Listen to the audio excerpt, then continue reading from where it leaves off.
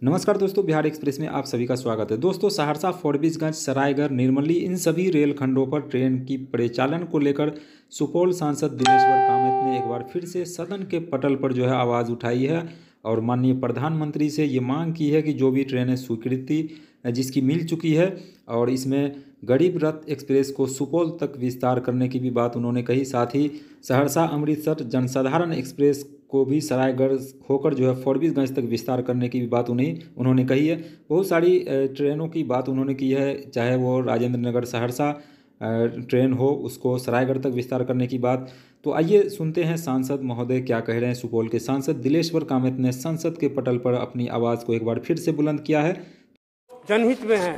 महोदया इस अवसर पर मैं क्षेत्र की कुछ महत्वपूर्ण बातों को भी रखना चाहता हूँ। मैं धन्यवाद देता हूँ माननीय प्रधानमंत्री श्री नरेंद्र मोदी जी का जिन्होंने तथा रेल मंत्री को, को जो 1935 के भूकंप में ध्वस्त कोसी पुल तथा रेल लाइन को चौरासी वर्षों के बाद कोसी पर रेल पुल तथा रेल ट्रेन का उद्घाटन कर कोसी क्षेत्र की जनता को मिथिला तथा देश के अन्य भागों से जोड़ने का काम किया। सहरसा फारबिसगंज रेलखंड, जो 2008 के प्रलयकारी बार में ध्वस्त हुआ था, अमान परिवर्तन कर सहरसा से ललित ग्राम तक ट्रेन परिचालन प्रारंभ किया गया, तथा ललित ग्राम से फारबिसगंज तक राष्ट्र को समर्पण हेतु तिथि निर्धारण प्रति, प्रतिलक्षित है। साथ ही जोगबनी दानापुर एक्सप्रेस तथा जोगबनी सरसा एक्सप्रेस भी राष्ट्र को समर्पण हेतु तिथि निर्धारण परिलक्षित है। आशा ही है, जल्द ही तिथि निर्धारण कर उद्घाटन कर इसका लाभ जनता को मिले। महोदया, सुपौल या सरायगढ़ से पटना, दानापुर एक सवारी गाड़ी या मेल एक्सप्रेस भया सरसा चलाया जाए। देश की राजधानी नई दिल्ली को जोड़ने के लिए फारबिसगंज से दरभंगा या सुपौल सहरसा होते हुए राजधानी या मेल एक्सप्रेस ट्रेन चलाया जाए।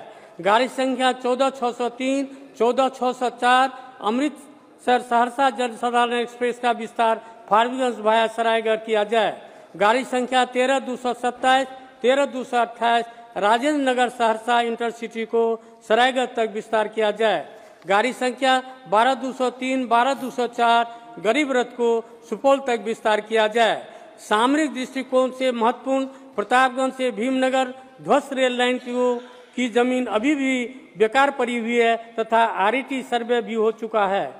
इन्हें उस खंड पर हो गया। रेल खंड कर रेल पर परिचालन करने की स्वीकृति दी जाए। अंत में बिहार को विशेष राज्य का दर्जा दिया जाए या स्पेशल पैकेज दिया जाए जिससे पिछड़ा क्षेत्र जो बिहार है उसका विकास हो सके। बहुत अच्छा। मैं विधेयक 2024 के का जो यह वित्त विधेयक 2024 है इसका समर्थन करते हुए अपनी बात समाप्त करता हूँ। बहुत